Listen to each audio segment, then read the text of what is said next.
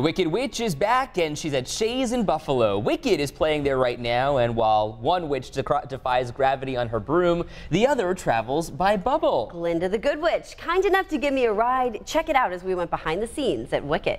At Shea's Performing Arts Center, Western New Yorkers are lining up to see Wicked. Tell them how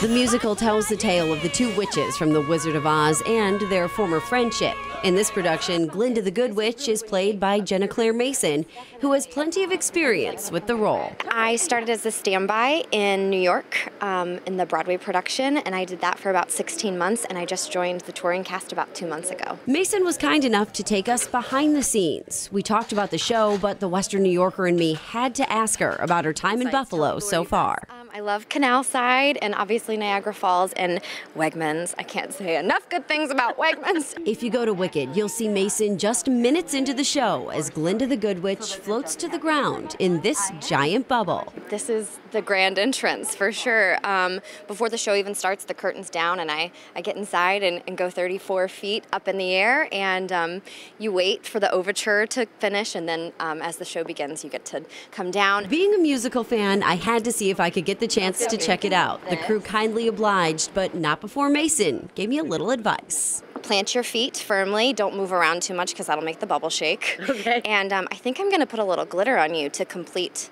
the Glinda look, if that's all right. I think I need a little glitter. I got ready to go up, Oh, that looks good. You're going to step right up inside. okay? But first, I had to learn my line. So, what do I So need your to know? Your opening line is, "It's good to see me, isn't it?" I got it. Got it? Then I was raised into the air where I was tucked away behind the curtain before my big descent. Look, it's Glinda! It's good to see me, isn't it? Yeah! Pop a few bubbles and blow a kiss to my biggest fan. This one's for you, Ed Dranch. Then my time in the air was over, but Wicked is still in town through June 4th, so don't miss your chance to defy gravity and check out the show. Yeah, a big thank you to them for letting us do that. I think I'm always going to greet you with, it's good to see me, isn't it? Oh, and I'll be like, mm-hmm. so cool. I didn't realize that platform is so narrow and that if you do move your feet, it actually wiggles. That's so interesting. Mm-hmm. She was amazing cool. giving us all the behind the scenes. Yeah.